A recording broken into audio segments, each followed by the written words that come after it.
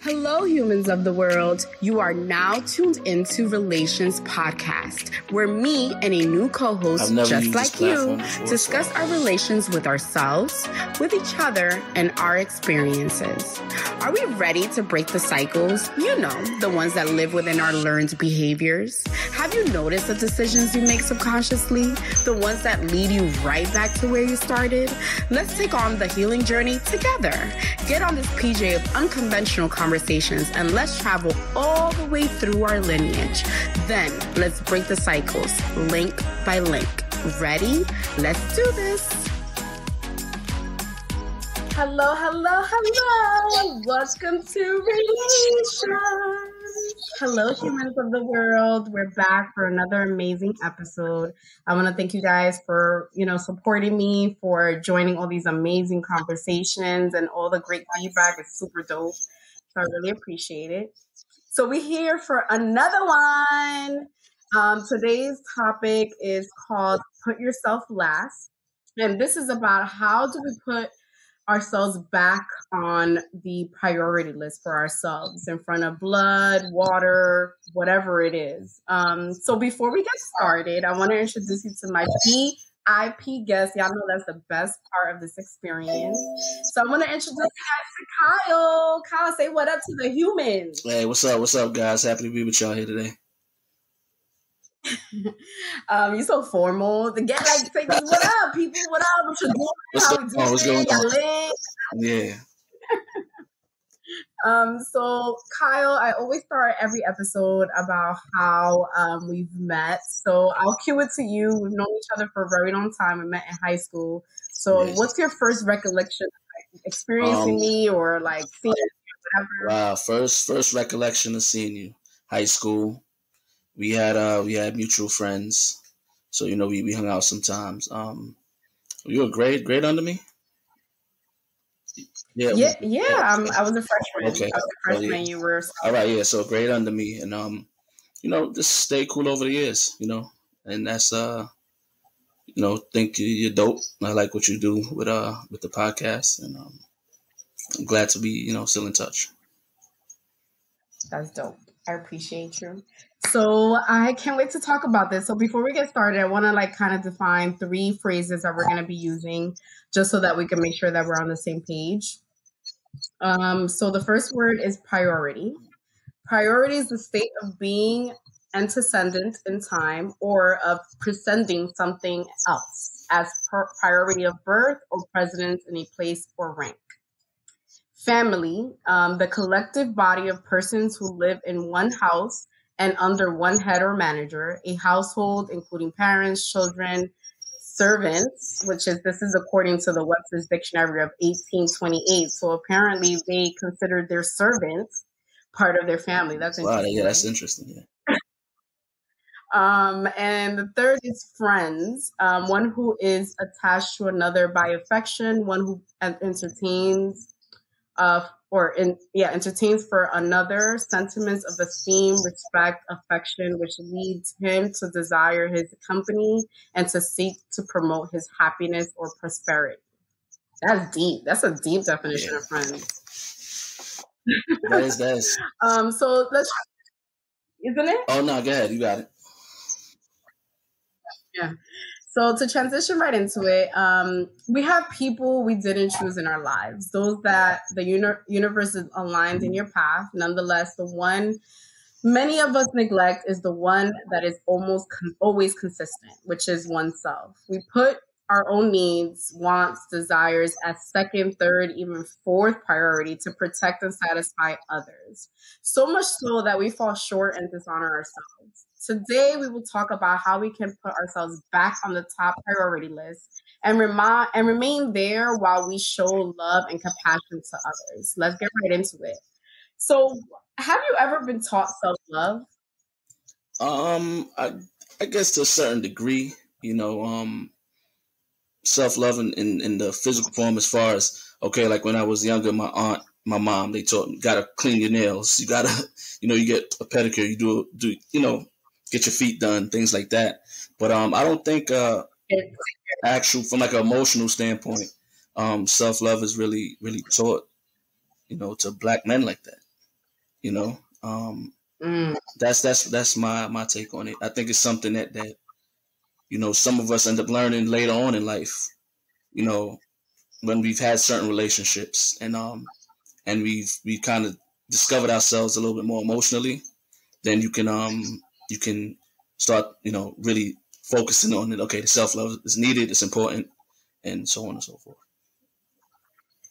Yeah, I think it's always so ironic, right? Like you come into this world and you're automatically introduced to all these people, right? Like you're in the hospital, you come out, and like all these people are like surrounding you, yeah. right? And yeah, the doctor slaps on your butt. yeah, right. So it's like your focus is everybody else. So from that moment on, right? It's like these are these people that you just came to this world with, and now you got to focus on them.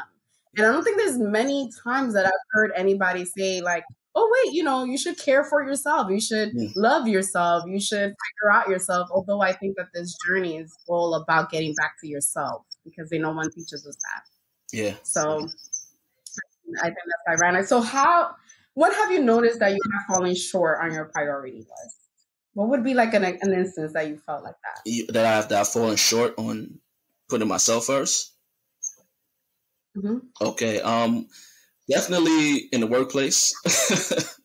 in the workplace, uh, sometimes you know you end up taking on tasks that you you know it's you're kind of stretching yourself thin.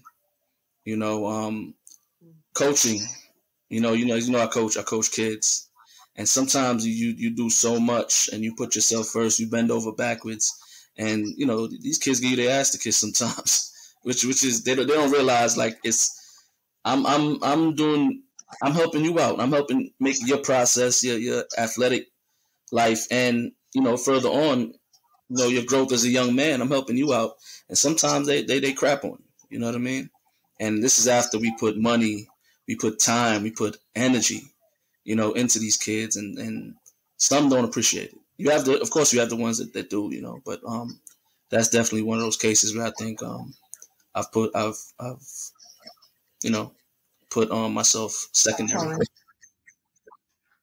Yeah, I, I feel like mentors are very undervalued, mm-hmm.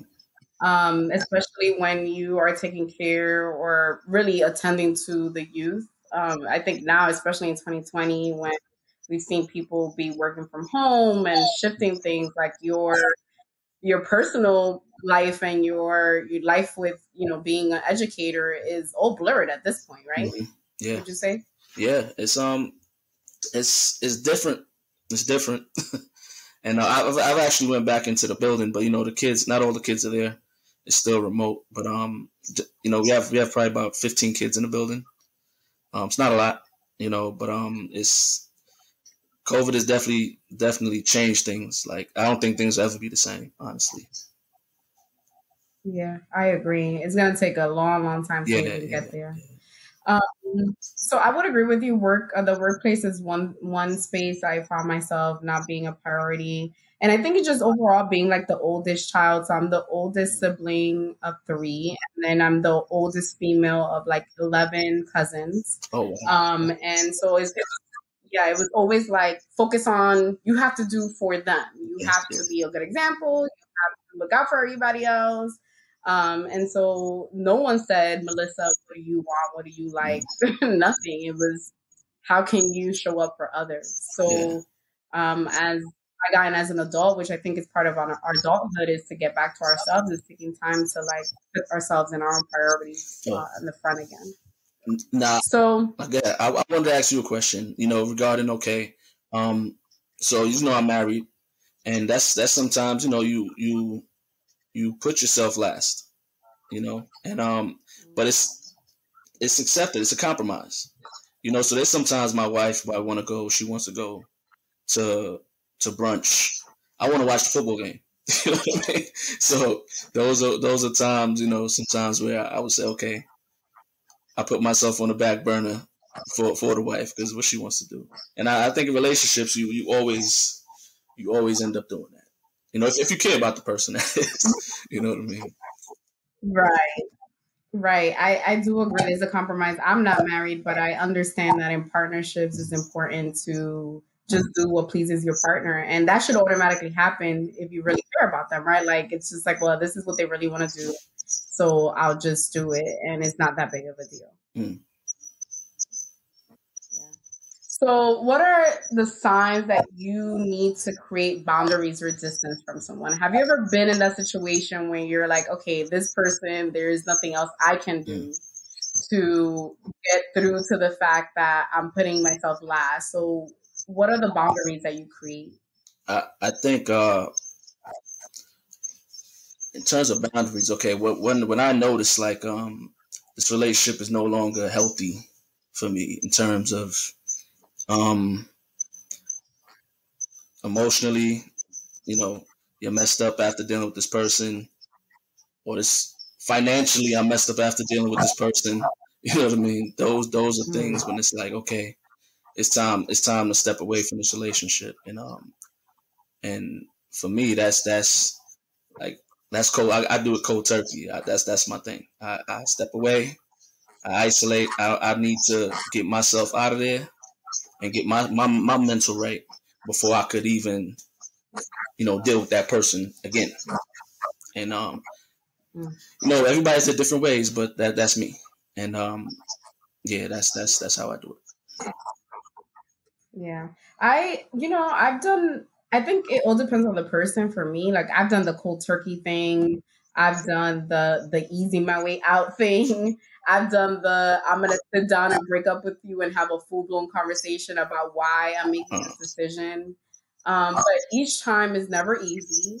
It's always like after several attempts of trying to rectify something that just doesn't work for me.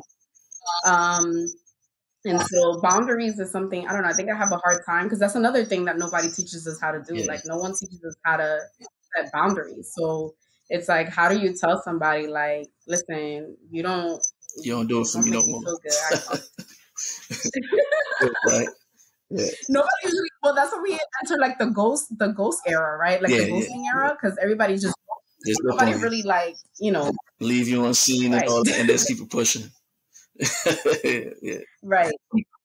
So people just be ghosting, but I think there is levels to um to setting boundaries where it can be respectful. Mm-hmm. Um, so I looked up um, just random Google on how to tell when it's time to cut someone off, and these are like four points that they said. this is a random Google. It's funny, it's like a tutorial on how to cut someone off. You know, these this how you do it. Right here, yeah. In case it's hard for you yeah, and you want to know, here's how to. so number one, um, if they're detrimental to your life, this perhaps um, is the biggest sign that it's time to cut somebody off. Um, if they aren't there for you when you need them the mm-hmm. most, if they don't aside they, they don't put aside their own feelings for you and if they don't support you mm. so that's interesting right like that's deep so if they're falling into any of these categories it is time for them to go so is it so it's um, one of the categories or if they, if they check all five i'm sure that means they, they're out of there but what if they're, they're decent in some of the categories but you know just a thought I mean, I don't know. I I would say if they fall into all of these, like you should have been let them go. Like that's a you problem, yeah, right? um, and if there's just one, like for me, I think everybody has their own deal breakers. So for me, mm-hmm. not being supported is really for me, right? So I know that to me, that's like number one. Like if you if you don't support me, then you're being detrimental and you're falling into all the other ones, right? Okay. Like that makes sense. Yeah. But, you know what I mean? Yeah, definitely. Um, so so what are some ways we can set boundaries with compassion and love? Like how do we get out of the ghosting era and go into the era of like communicating effectively? Wow. That was hard. Yeah, that is a hard one because I think you you gotta be you gotta be mentally there to be able to speak to that person, you know. And and I think if I'm not mentally there, then I'm not I'm not gonna just I'm not gonna speak to you you know, because then I, we're gonna end up it's gonna end up a, a dislike. You know what I'm saying? And I don't want to leave like that. I don't want it to be a t- uh, oh I hate you thing. You know, so I would I would rather just remove it. I think we had, if we start having a conversation and this person isn't understanding what I'm saying or they're still doing what they do that that they know I dislike, I'm just gonna end up getting upset. I'm gonna say F you, and I'm gonna keep you know what I mean? And and you you don't want to leave on that bad note. You know what I mean? So I think I think it's just for me, I gotta go. No hard feelings, but I gotta go. Yeah. Yeah. But for people I, I think I tried to. That what? I said for the people that can't communicate those feelings and still, you know, then that's that's good, you know. But you know, we all have our thing. We all have our downfalls. Yeah. Well, not downfalls, but challenges, right? We're just trying to be better than we were yesterday. I would say, right? Yeah. Um. So I I looked up. So the, there's this writer who who wrote seven ways to set boundaries without being mean. Um, the first one is uh, start saying no. So to change your ways, you must always start with a small and in the scenario, picking something minor to say no to. This will give you the necessary confidence boost to show you that people can manage without you and that they they will not hold it against you. Mm. So do you have a problem saying no? Not not necessarily, not all the time. Nah. To my wife, oh, okay. yeah. Yeah, I Well yeah, because that that was gonna yeah, work against you. That yeah, but um, not necessarily. Sometimes I, I'm like, nah, I'm not doing that. Sorry, you know. But at, at, at the principal, the principal asks you to do something. Generally, you do it. But yeah, I don't really have a problem saying no. Though. No. Um, the next one here is trust your body instincts. Your mind and body work very closely together to keep you functioning. Trust what it has to say.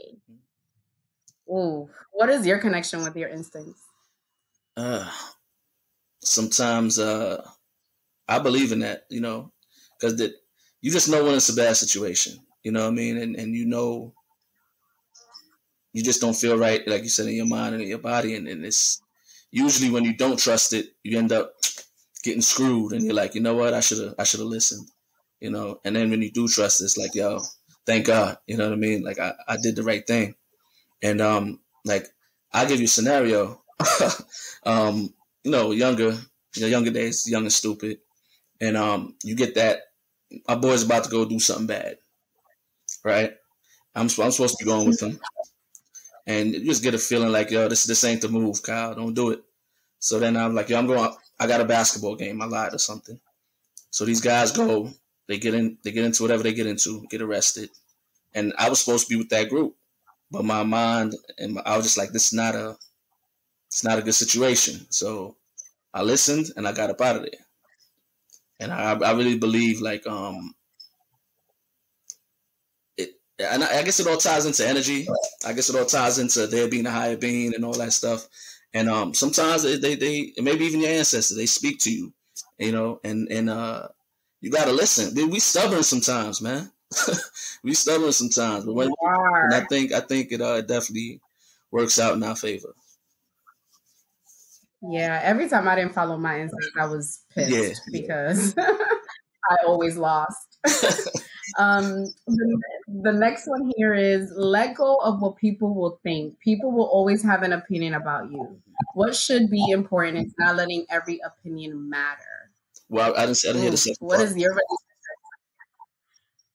it says um, people will always have an opinion about you. You should be it should you, you should be important is not no what should be important is not letting every hmm. opinion mm. matter. Facts. Facts. Yeah. Yeah, everybody everybody got an opinion that is, especially right now in the social media world, everybody wants to tell you about something that has to do with you. Yeah, yeah they haven't walked a, a, a second in your shoes. Yeah, I mean, right. opinion if someone doesn't have a direct effect on you um, in terms of okay um, are they paying my bills? Or are they, are they are they a link to me getting paid? Or are they you know something to do with my health? You know what i mean? If, if you, you don't have an opinion like it doesn't bother me. You can speak you can call me whatever you want to call me. You can say whatever you want to say. I'm, you're not worth my you're not worth me getting back at you because it's your opinion doesn't matter. you know what I mean? I'm still me. Mm-hmm.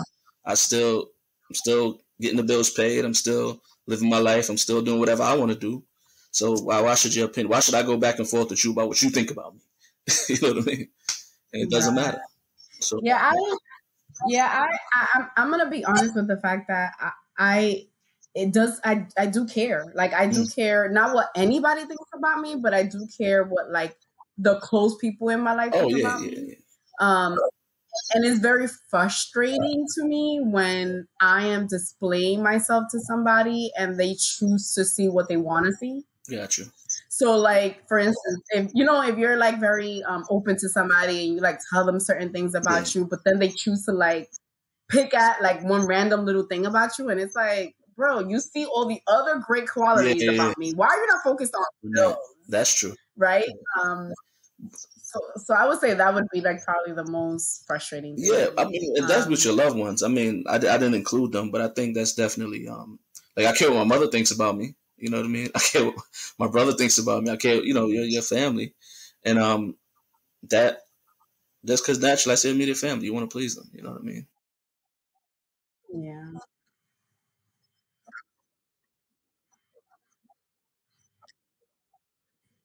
yeah, especially when they, when you don't when they don't know you. So, um,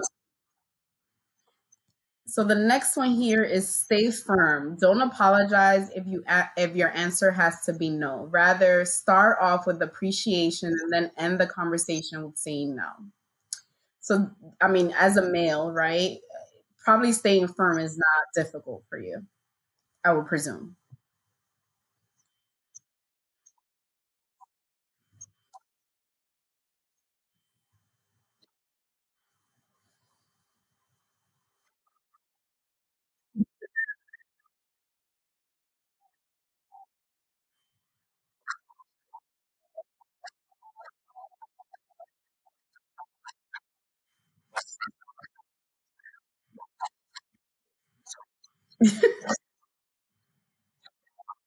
What it is. Yeah. I I try to channel that male energy um sometimes. Other times I just feel bad, so I'll like go with like something ambiguous like um I'll see. We'll see. We'll see what happens.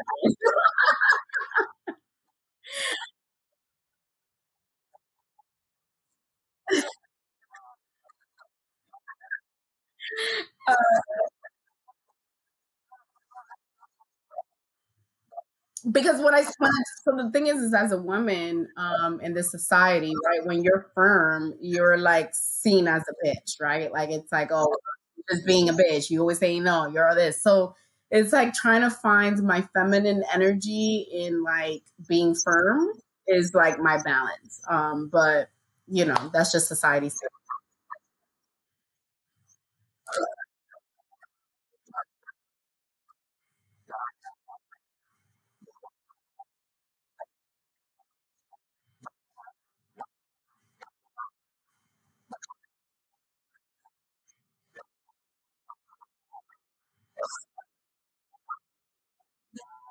It's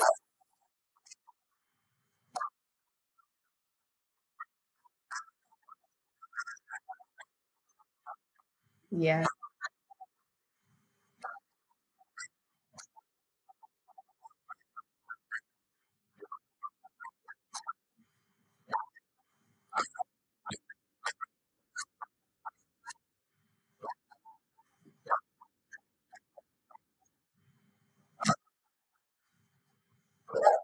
Yeah, yeah. I mean, it's it's a long transition, and I definitely feel my ancestors a lot of times when I'm doing these types of things. As much as it might not be the most comfortable thing, I know I don't have to do it just for me. I have to do it for my ancestors or the or the women that couldn't, because that's where the value is. That's where we grow. So, um, so a next one is be clear about what yes means. If you don't, if you if you know what you want to say yes to, it becomes easier to say no. So I guess this this means compromising. I guess what this is trying to say is, yeah, if you if you say like if you say like, well, I'm willing to do this, then you know you'll be like, oh well, I can't do that, but I'm willing to do this. Um, yeah, that me too. I like that one too. I'm like, I never thought about it like that. um, and the last one here is implement the ASSA rule. So here's the ASSA rule. Um, alert the individual that you need to talk to them. State your issue by revealing to the person what the problem is and tell them why it's an issue. Three, sell the advantages to set to to them for acting better towards you. For example, will you seem professional? And lastly, agree.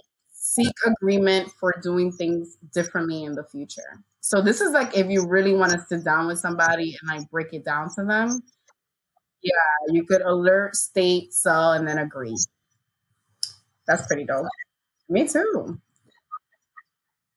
So this go ahead.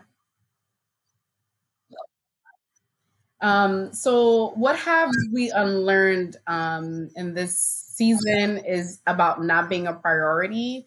I say choosing self as a priority is essential. Our relationships with others are challenging. And I mean, we keep hearing the word boundaries in the last decade as an inclination that is required consistently to, in efforts for many of us and is imperative on the road to healing and, cult- and cultural evolution. Let's make the phrase self priority just as impactful because it is.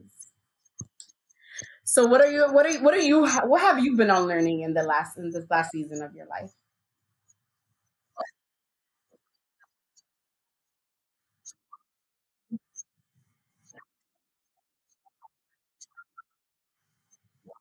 Yep.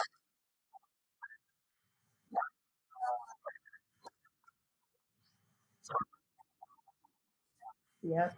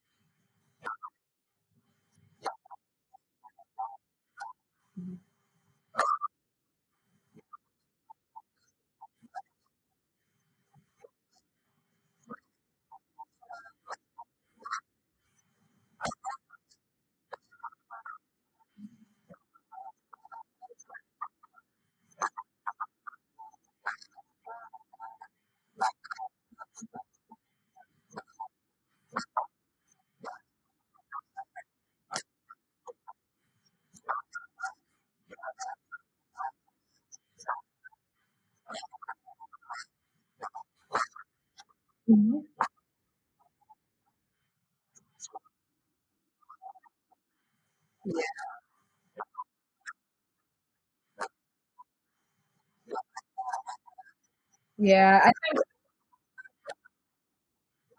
self preservation is a big one. I, I self priority self preservation. I think is important just because I think it gets a bad rep. I think that people say, well, if you're putting yourself first, then you're selfish and you're a narcissist and you know you're all about yourself. But why why wouldn't I put myself first? Like why wouldn't I be the first person that I focus on in my life?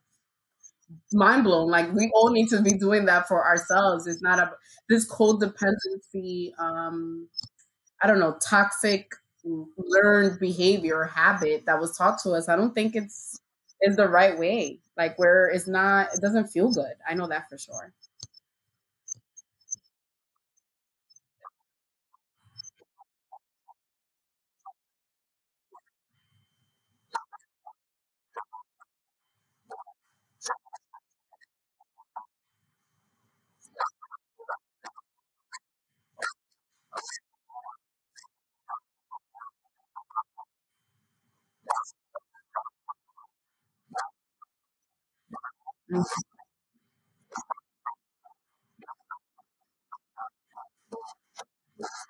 Yeah, I'll, I'll leave that as like the last question.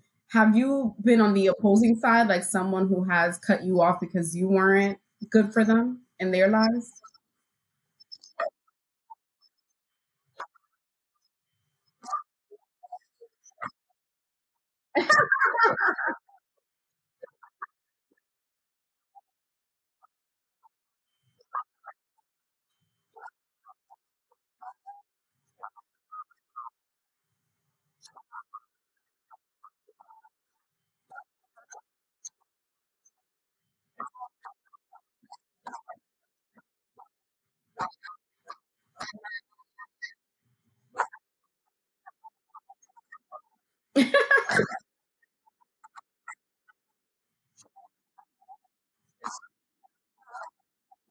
Yeah, yeah, yeah. That's dope. I so I've been um uh in a situation where a friend felt like I wasn't. Well, they just said a really mean thing. Like I was being a really mean person to them. Like I made them feel not good. I made them feel low. I made them feel all these things, right? And regardless of whether I my energy made them feel that way, um, I removed myself because I felt like, well, if I'm making you feel so horrible, then I need to remove myself from you because I don't want to make anybody feel like that. And I don't really know what I'm doing to make you feel this way. Um, I'm not doing it intentionally, but my energy is doing it to you. So I'm going to just see my way out.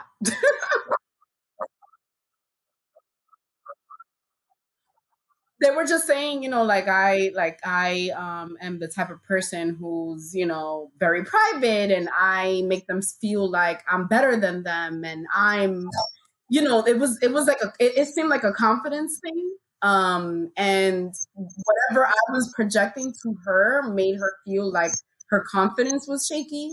And so I didn't want I mean, I'm not gonna dim myself down to make her feel more comfortable. And so I was like, you know what? How about I just see my way to the B side.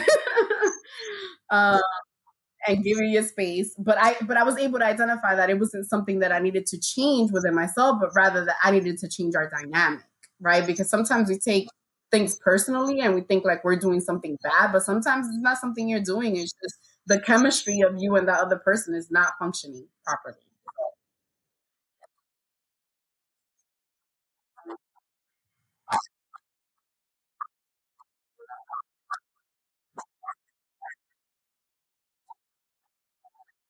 Mm.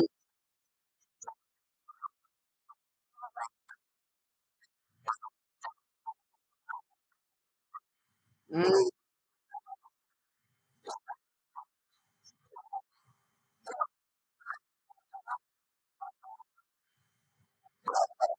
Yeah, that um, false false positioning. I call that false or incorrect positioning of people in your life. I just make these shits up. They're incorrect positioning because and and that's like the worst because when you think like you being a friend to somebody and they're not seeing you in that same way, they might not be saying it to you, but they are showing it to you. So when people are showing you who they are, you gotta believe them.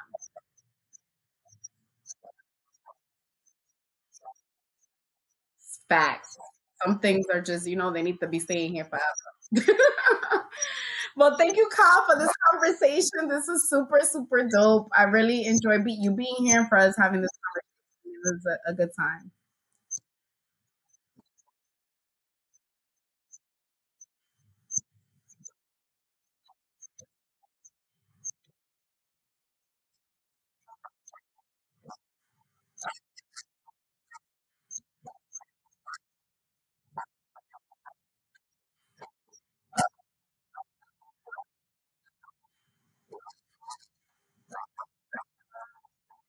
Yeah, we're getting there. Yeah. Mm, yes, we're getting there. I know it. We're getting close. So, thank you everybody for listening. I appreciate you. And until next time, later. Thank you so much for listening. Remember to subscribe and follow on iTunes, Spotify, SoundCloud, and YouTube at Relayshons Podcast via The Diary of MR. M as in Melissa, R as in Rosario. And now, the best part here are the after credits, a message from my co host.